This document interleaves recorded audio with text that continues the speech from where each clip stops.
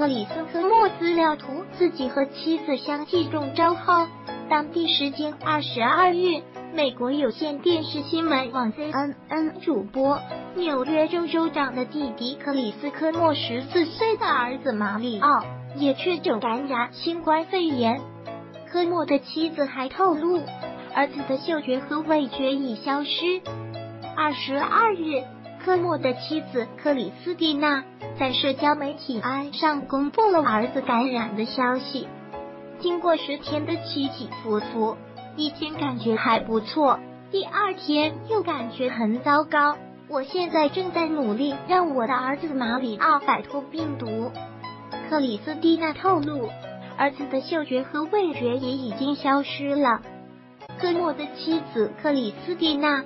在社交媒体发文，三月三十一日，科莫感染新冠病毒，并在地下室隔离。之后，在四月十五日晚的节目中，科莫又透露自己的妻子克里斯蒂娜也确诊感染新冠肺炎。当时，科莫表示，幸运的是，感染病毒的克里斯蒂娜不是孩子们。四月二十日，科莫宣布自己已经康。复正式结束隔离。